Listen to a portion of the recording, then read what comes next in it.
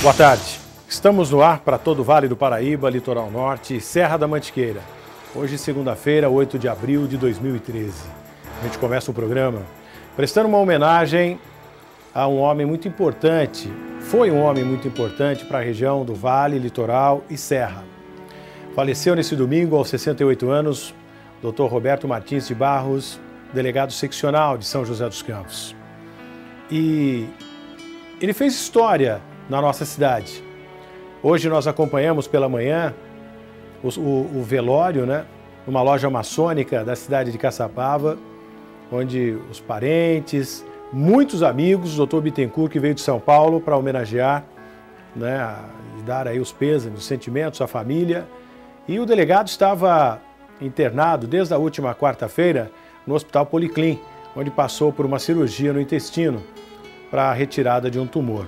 Não resistiu e às 15 horas e 50 minutos sai o boletim médico que ele havia que ele havia entrado em óbito. Me perdoe que a voz acaba embargando, porque eu tinha uma estima, um carinho muito grande por esse delegado. Nos ajudou, sempre foi solícito. Tudo que nós precisamos dele até hoje, ele nos ajudou.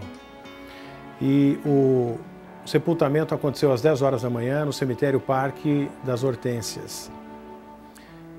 E aqueles que estavam na região puderam ir até o velório conversaram conosco. Todas as autoridades, Polícia Militar, Guarda Municipal, amigos e parentes que a gente vai ouvir agora a última mensagem né, de cada um ao Dr. Roberto Martins de Barros. Roberto é um grande policial, dedicou praticamente 50 anos da vida dele à vida pública, uma pessoa que não tem nada que desabone. E foi uma grande perda para a polícia, uma pessoa íntegra, honesta, amiga. É um grande amigo meu, uma pessoa que eu lidei bastante, principalmente agora na época da política. É, um, é uma perda irreparável, não só para Caçapava, mas para toda a região e o estado de São Paulo também. Meu padrinho, todo mundo sabe, desde criancinha, sou delegado por causa da influência dele. E agora eu perdi totalmente o chão, a muleta, o amigo, o pai.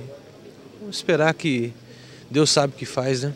Realmente era um homem íntegro, né? Uma história toda na polícia. É, aprendemos muito com o Dr. Roberto.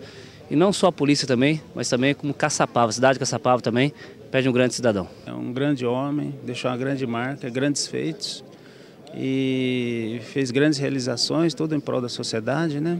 É uma perda, assim, lastimável. Praticamente toda a vida desse homem dedicada à Polícia Civil. Mais de 50 anos só pensando em polícia. E realmente é um grande líder, é um grande exemplo, é uma pessoa que nos ensina sempre, sempre vai ser um eterno professor. Tivemos muito, né, a enriquecer aí a nossa carreira, com o brilhantismo do Dr. Roberto, com a sua postura, com a sua lealdade para a Constituição. É, realmente é um, uma tristeza para todos nós. É uma pessoa fantástica, um grande delegado, vai deixar realmente uma lacuna, mas é, Deus sabe o que faz e a gente tem que respeitar um homem culto, correto, admirado por todos. Ele vai deixar uma lacuna enorme dentro do coração de todos nós. Nós lamentamos muito a ausência desse grande profissional, né, que já tinha aí mais de 30 anos de serviço e que infelizmente veio a nos deixar de uma maneira inesperada. Lamentável a perda desse grande líder que vai fazer muita falta. Mas eu quero deixar aqui a imagem do Dr. Roberto enquanto ele estava vivo. E é uma frase importante que nós criamos aqui e é a pura realidade. A amizade não morre, apenas adormece nos braços da saudade. A família enlutada, os nossos sentimentos. Bom, agora a vida continua. E vamos prestar serviço aqui no programa. Vem para a câmera 2 aqui, Eduardo. Os comerciantes do mercado municipal da cidade de São José dos Campos estão preocupados. Chove mais dentro do supermercado do que lá fora. O mercadão, na verdade, né? É o mercadão municipal. Quando chove fora, era para manter o, o mercado seco, né? Mas chove pra caramba por falta de manutenção. A reportagem esteve lá para conferir. Olha só, momento da chuva, olha só o que, que acontece. Chão tudo molhado e aí a população não sabe o que faz.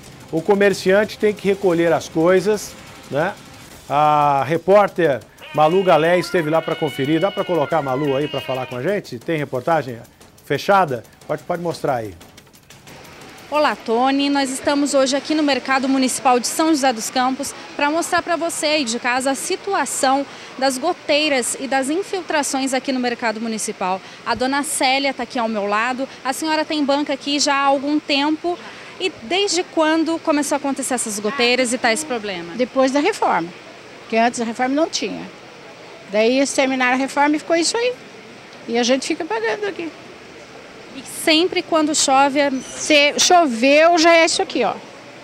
Caindo água, as pessoas escorregando, caindo tombo. Eh, teve gente que até machucou já, cair, escorregar. E a senhora já foi na prefeitura? Nós já ligamos lá. Eles vêm aqui, olha, mas não resolve o problema. Eles trocaram a telha e ficou assim. O problema aí é a calha. Tá vazando porque a calha tá podre por baixo. Quem que faz isso, hein? É, ô Sidney, é vocês aí da SSM, é o Wolf que faz isso? Não sei. Vamos levantar. Se for, vai lá, passa um silicone e depois manda trocar, manda soldar essa calha, enfim, tem que ajudar. Tem que trabalhar, mostrar serviço. Senão, quando chover de novo, eu volto lá. Vocês estão tranquilos agora? Porque só vai chover, vai acabar o. Já acabou o verão, né? Passou o período de chuva e aí não chove, né? Elvis, José Vieira, diretor de obras. É com ele? Então põe ele na linha para falar comigo. Elvis, tudo bem? Tudo bem. Como é que fica aí para resolver essa goteira? Chove mais dentro do Mercadão do que fora, Elvis? Uhum. Vamos lá. Tony, vamos, antes deixa eu só te passar algumas coisas para você entender como que, como que aconteceu as coisas. Né? Em 2012, em janeiro de 2012, é, a empresa GDVT Construtora foi contratada para é, prestar os serviços de reforma lá do, do mercado municipal. Tá? Dos serviços prestados, é, se tinha, é, além de alguns serviços como troca de telha, é, reforma na, na calha em si, principalmente, dutos de queda, né? É, mas não se tinha um dado que era importante naquele momento, tá? Isso em janeiro de 2012, tá? Não se tinha o redimensionamento das calhas das águas pluviais, nem tampouco o de redimensionamento dos tubos de queda de águas pluviais do mercado. Tá? Então, o que acontece? Aquela obra que foi feita naquele momento era uma obra que foi feita de forma paliativa. Ela não resolve de forma concreta e de, e de uma única vez o problema que nós estamos enfrentando hoje, principalmente por conta da quantidade de chuvas que nós temos, estamos enfrentando agora por esses tempos. Né? Acho que tendo em vista a obra da, da Guadalupe, que é uma prova concreta disso. Bem, é, hoje, para resolver esse problema, teria que, inicialmente, né, fazer troca de todas as calhas de forma já redimensionada para atender os índices pluviométricos que se tem encontrado nos últimos Secretário, anos. mas será que há necessidade de trocar todas essas calhas aí? Será que não é um dinheiro a mais que vai gastar? Não dá para resolver? Porque não está vazando em todo o mercado, são em alguns pontos que a calha provavelmente deve ter enferrujado e começou a vazar, não é no mercado inteiro. Sim, correto. Muito bem, olha só. É, uma coisa são as goteiras que a gente pode identificar os pontos que existem de, nas calhas que estão com ferrugem, que estão oxidadas e que estão causando as goteiras. E a outro, o outro dado é, são as calhas que estão subdimensionadas e que estão extrapolando quando tem uma intensidade de chuva maior. Tá? Então, assim, são dois tipos de serviço diferentes. Uma é que você está identificando de forma talvez até mais visível, que são as goteiras. Né? Isso a gente tem condição de resolver mais rápido, inclusive que é feito pela manutenção. Muito bem? A outra é uma, uma coisa que precisa ser resolvida, um serviço precisa ser resolvido de forma é, conclusiva, que é a questão da, das calhas que estão subdimensionadas. Secretário, então só para a gente resumir aqui, que o tempo é curto, então a gente tem que acelerar aqui. Vamos fazer o seguinte, pede, né, para não sei se é o Wolf ou alguém da sua manutenção, para tapar esses buracos que hoje é a emergência. Aí depois a gente vai discutir, né, e é claro, a gente vai trazer o senhor aqui uma, numa outra oportunidade para ver o que vai ser feito para colocar uma calha que comporte realmente a quantidade de água que cai daquele telhado. Combinado assim? Combinado, sem dúvida. Tá é, a gente, isso a gente se compromete, o serviço de manutenção é constante, né? e ao longo do tempo a gente vai fazer os, as obras e serviços que são necessários para que garanta a permanência do mercado na sua integridade, isso com muito, certeza. Muito obrigado, secretário. Muito obrigado por atender aqui a nossa equipe. Vem para um aqui. O diretor do, da, de obras, né? A secretária é a Soraya, diretor de obras. Muito obrigado aí por ter atendido a nossa reportagem.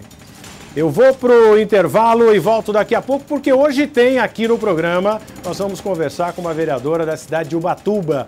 Ela viajou de Ubatuba para São José dos Campos para conhecer aqui o nosso programa. Muito obrigado pelo respeito e nós vamos saber dela o que vai ser feito de melhoria para esta cidade que eu briguei pra caramba no ano passado. Eu volto já depois do intervalo.